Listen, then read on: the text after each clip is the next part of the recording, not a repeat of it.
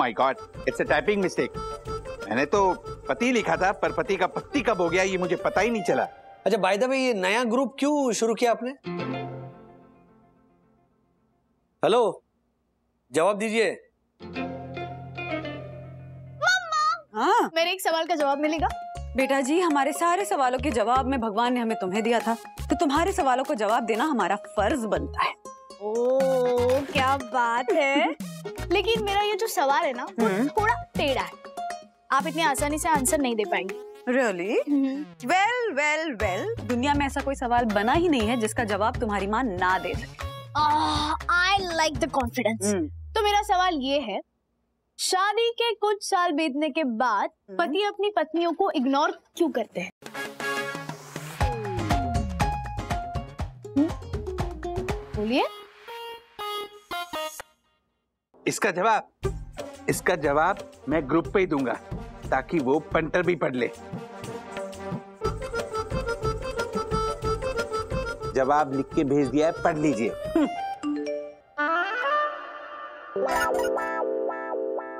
राजेश भाई, सबसे पहला रीजन तो ये कि मुझे नए नए ग्रुप का एडमिन बनना अच्छा लगता है। ऐसा लगता है कि मैं ग्रुप का लीडर हूँ और बाकी सब मेरे नीचे काम करने वाले कर्मचारी। और दूसरा रीजन ये कि हम तीन पतियों को अपनी मैरिड लाइफ की कोई प्रॉब्लम्स या कोई कॉन्फिडेंशियल बात शेयर करनी हो तो वो तीन पति ग्रुप पे ही करेगा। हम्म बातों की वजह से एटलीस्ट मिलना तो हो जाता था लॉबी में गार्डन में। अब वो भी नहीं होगा। What?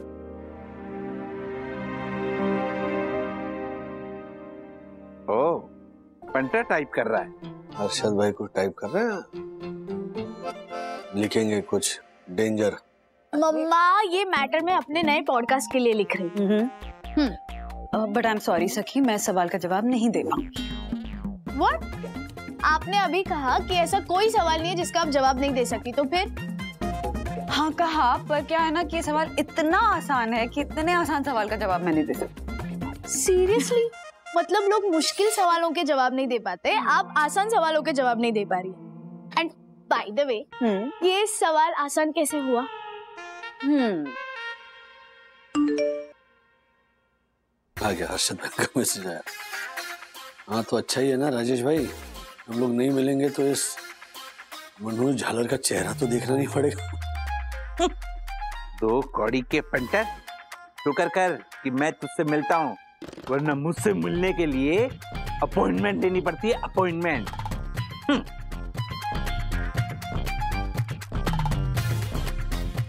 इधर कोर्ट में। मुंगो मर बकवास बंद कर। हम्म, अबे शुरू किसने किया था हैं?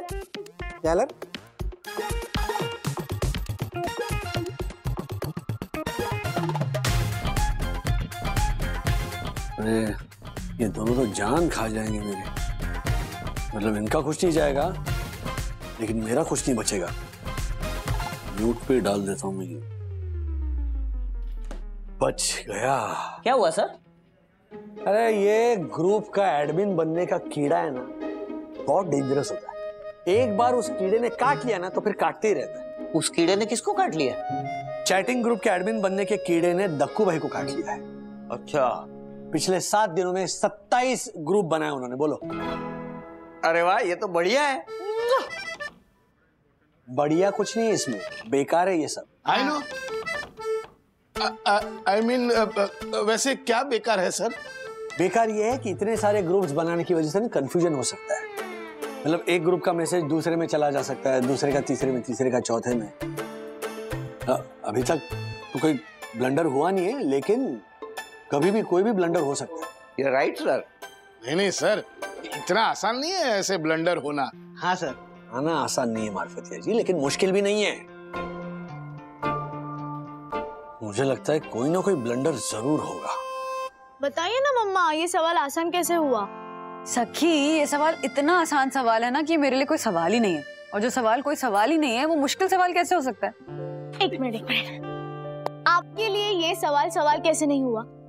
ये सवाल मेरे लिए सवाल इसलिए नहीं है सखी क्योंकि तुम्हारे डैडी ने कभी मुझे इग्नोर किया ही नहीं इनफैक्ट शादी के बाद वो मुझे जितना अटेंशन देते थे ना उससे कहीं ज़्यादा अटेंशन तो वो मुझे अभी देते हैं। वाह वेरी नाइस डिफरेंट आंसर आपका ये यूनिक जवाब ना मेरे पॉडकास्ट को यूनिक बना देगा। अब प्लीज़ डैडी को एक बार कॉल करके उनकी भी राय ले लो ना मेरी तरफ़ से। मतलब उनका भी आंसर मैं मेरे पॉडकास्ट में डालूँगी तो मेरे पॉडकास्ट को चार चाँद लग जाएँगे। बिल्कुल लगाइए चार चाँद अपने पॉडकास्ट को और अपने फ़ोन से खुद ही फ़ोन कर लीजिए ना हाँ? डैडी ऑफ़िस में है ना? बिज़ी होंगे। शायद मेरा कॉल ना उठा पाए लेकिन वो कितने भी बिज़ी हो वो आपका कॉल ज़रूर उठाएँगे। Yes, हाँ। और बाय चांस वो नहीं उठा पाए तो आपकी बात पूरी तरह से सच नहीं होगी कि डैडी आपको लाइफ में कभी भी इग्नोर नहीं करते। वेरी स्मार्ट हाँ?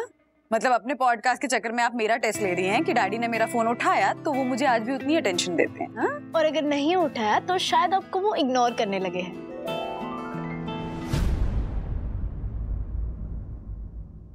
नहीं नहीं नहीं नहीं मिस्टर साहनी मैं आपको इग्नोर क्यों करूँगा? आप हमारे इंपॉर्टेंट क्लाइंट है।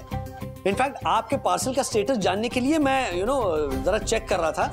तो अभी पता है ये चला है कि आपके साथ साथ हमारे और भी कई सारे इंटरनेशनल जो पार्सल्स है ना वो फंस गए हैं क्योंकि एक कार्गो शिप जो है, जो ये पार्सल लेकर आ रहा है, वो पनामा कैनाल में फंस गया है। सो नहीं नहीं नहीं, एक मिनट आप बात समझ नहीं रहे। इसमें पी टू पी मैक्स का कोई कसूर नहीं है।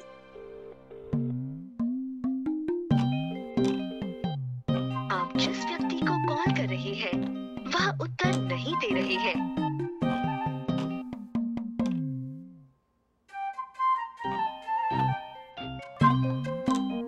मैं आपकी कियारा मैम से बात कर सुनिए सुनिए सुनिए सुनिए। कियारा मैम और निक, इस वक्त दिल्ली की फ़्लाइट में हैं। मैं उन्हें मैसेज भेजता हूँ, जैसे ही वो लैंड करेंगे, वो आपको फ़ोन करेंगे। हेलो? अरे यार, ये कमाल। अरे, वंदू का मिस कॉल है। तो ये और एक ग्रुप क्रिएट किया क्या? दक्कू भाई ने? ऑफिशियल वर्क यार, कोई फुर्सत है कि नहीं दक्कू भाई? नहीं, ये तो अन्ना चूज़ गन्ना ने ग्रुप फॉर्म किया। सारे कॉलेज के दोस्त, ये कोई ग्रुप था ना हमारा? पाँच पापी, एक मिनट। क्या मैसेज भेजा? भाई लोगों, अपना जो पहले का ग्रुप था, पाँच पापी, हम उसमें हमारी प्राइवेट बातें शेयर करते थे। नोटी जोक्स भेजते थे। लेकिन उस ग्रुप का पता हम सबकी बीवियों को भी लग चुका है। इसलिए मैंने ये नया ग्रुप बनाया है।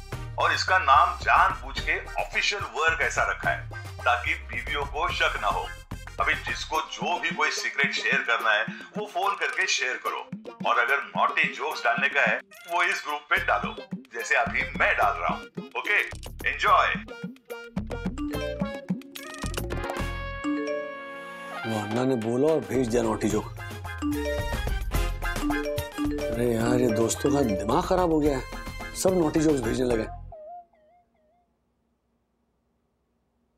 क्या कर रही हो मम्मा? हाँ?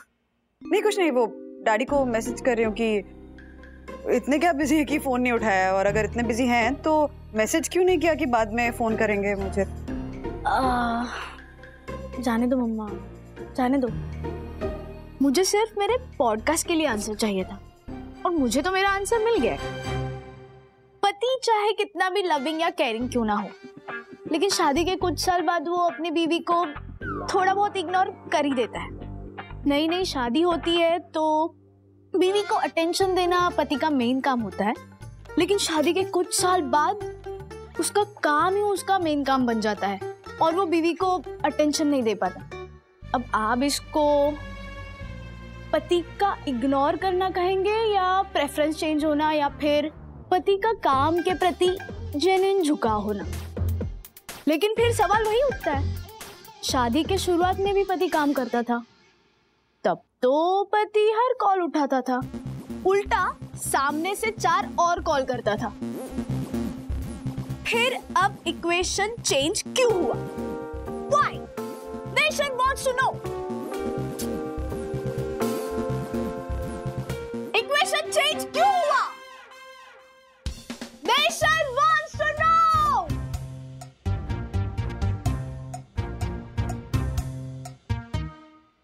अरे भाइयों क्या चल रहा है तुम लोगों का बंद करो ये बचपना बचपना नहीं राजू जवानी बोल जवानी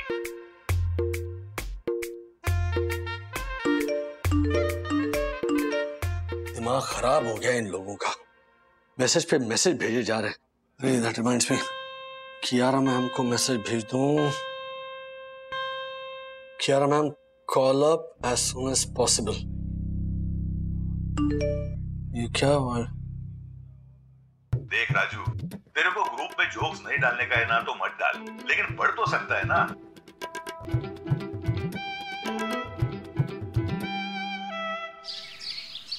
सही बोला आपके दोस्त ने। अरे आपको ग्रुप में नोटी वाले मैसेज फॉरवर्ड नहीं करने मत करो। लेकिन पढ़ तो सकते पढ़ के हंस तो सकते हंस के हमारे को फॉरवर्ड तो कर सकते हैं ओहो हर्षद भाई आप भी ना। मैं तो क्या करूँ अभी राजेश भाई? हमारे को नॉर्मल वाले जोक्स तो हँसी आती नहीं मैं क्या करूँ? इसीलिए इसीलिए ना। मैंने अपने कॉलेज के दोस्तों का ग्रुप ज्वाइन कर दिया बोलो। उसमें ना हम लोग वो नोटी वाले जोक्स पास करते हैं। अरे बहुत मज़ा आता बहुत मज़ा आता ओहो। अजीब दोस्त है आपके। हाँ मेरे दोस्त भी यही बोलते क्या अजीब दोस्त तेरे तेरा राजेश वागले? क्या? क्या क्या क्या क्या बताया मेरे बारे में? ये क्या नोटी टाइप के मैसेज फॉरवर्ड करना बिल्कुल पसंद नहीं करते। एकदम घरेलू टाइप के आदमी हो एकदम शरीफ। आए देखते हो दाएँ। सीधा ऑफ़िस से घर घर से ऑफ़िस अभी आप ही सोचो आपके जैसा शरीफ आदमी इस जमाने में मिले। तो सबको अजीब ही लगेगा ना? है कि नहीं? अच्छा वो, वो सब छोड़ो वो सब छोड़ो। आपके जो ये जो दोस्तों के ग्रुप में वो जो नोटी टाइप के मैसेज आते हैं ना? है? वो हमारे को फॉरवर्ड करो। मैं अपने दोस्तों वाले ग्रुप पे भेजूँगा और कुछ और लोगों को भी भेजूँगा। और और लोग मतलब किनको अपने क्लाइंट्स को और बिज़नेस कलीग्स को सबको भेजूँगा। क्या? हाँ। आपको पता है ऐसे सब मैसेज फॉरवर्ड करने से ना फॉर्मेलिटी कम होती है। आपको पता है? ऐसे सब जोक से ना अपनी मैरिड लाइफ में वो आता है वो। वो क्या? ये। अभी अभी देखो अभी वो ऐसे दो वायर ऐसे ऐसे ऐसे टच हो जाए टच तो तो क्या होता है? स्पार्क ये सब जोक से ना अपनी मैरिड लाइफ में भी स्पार्क आता है। नहीं नहीं। गलत सोच है आपकी। हर्षद भाई। मैरिड लाइफ में स्पार्क लाने का सिर्फ़ और सिर्फ़ एक ही तरीका है और वो है प्यार। प्यार होगा ना? तो केयर कंसर्न कमिटमेंट के साथ साथ पार्टनर की पसंद नापसंद और नाज नखरों का ख्याल रखना भी आ जाएगा। और अगर ये सब आ जाएगा तो मैरिड लाइफ में स्पार्क ऑटोमेटिकली आ जाएगा। गलती हो गई इनको बोल के। वो सब छोड़ो ना यार भाई छोड़ो ना यार। पार्क आवे आवे नहीं आवे नहीं आवे हैं? आपके पास मैसेज आवे ना तो हमारे को फॉरवर्ड करो हैं फटाफट। नहीं नहीं हर्षद भाई। ये फालतू जोक्स भेजने का फालतू काम मैं हरगिज नहीं करूँगा ओके बिल्कुल नहीं भेजूँगा मैं जोक्स क्या क्या क्या क्या राजेश भाई यार क्या है ऐसा क्यों कर रहे हो यार? अपने भाई जैसे दोस्त के साथ में ऐसा करो यार हैं? एक मैसेज फॉरवर्ड करने से आपके भाई को अगर खुशी मिलती उसके धंधे में फ़ायदा होता है तो यार आपका किया जाता है। करो ना मैसेज फॉरवर्ड करो ना, करो करो हाँ करो मैसेज करो फॉरवर्ड करो।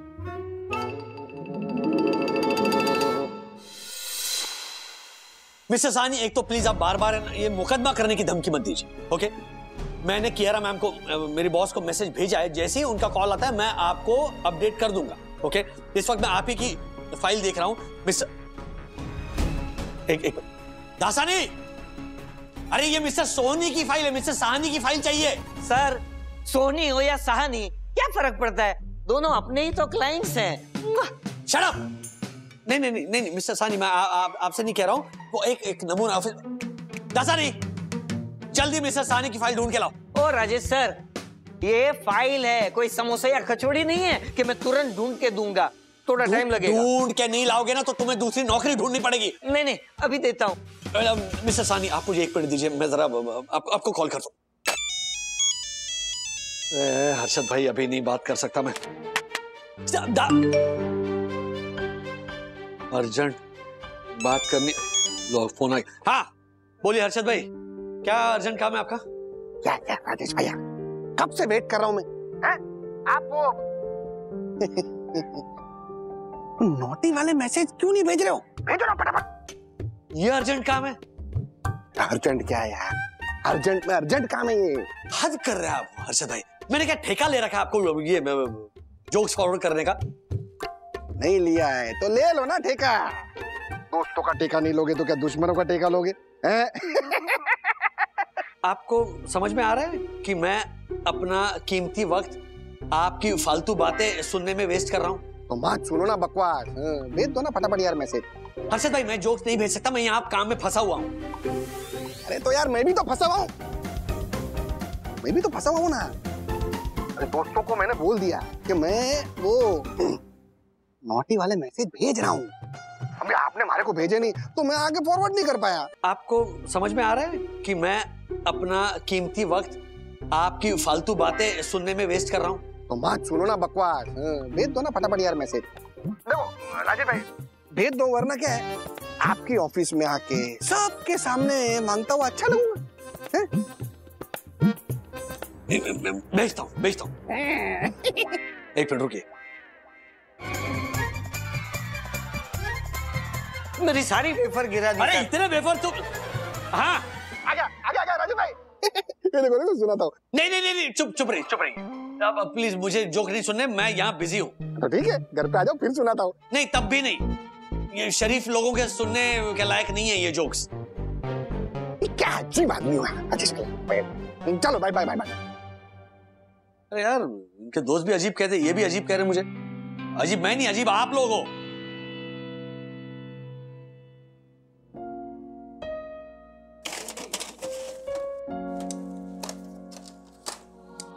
अरे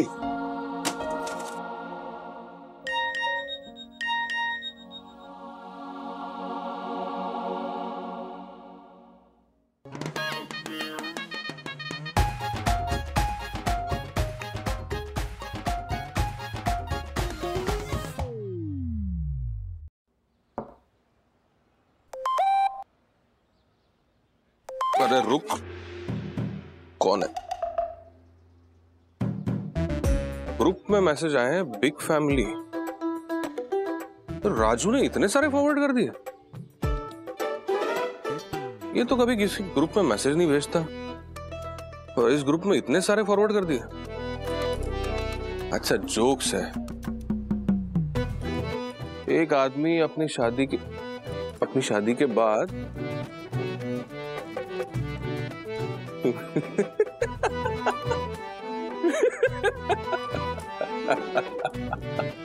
बढ़िया मस्त है। लेकिन राजू को ये दक्कू ने बनाया हुआ बिग फैमिली ग्रुप ही मिला था मैसेज डालने के लिए। और जोक्स? वैसे देखा जाए तो राजू ने जो किया, ठीक ही किया। अपना शराफत वाला नकाब उतार के फेंक दिया। बहुत अच्छा किया तूने राजू, बहुत अच्छा। ये जो बिना बात के शराफत का ढोल गले पड़ जाता है ना, उसको बजाने में सबकी वाट लग जाती है।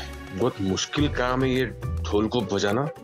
साला इससे तो अच्छा है कि इंसान जैसा अंदर से ना वैसे बाहर से दिखे। शाबाश राजू। आज तूने दिल खुश कर दिया भाई। साला कॉल करके तेरा हौसला बढ़ाना तो बनता है boss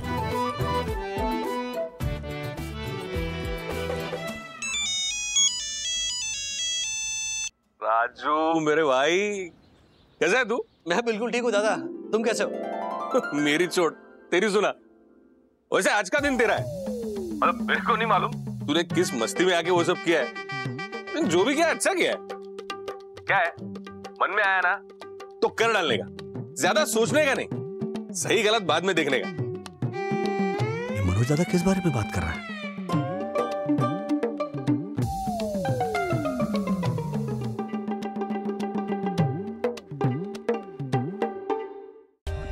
For more updates, subscribe to our channel, click the show links and enjoy watching the videos.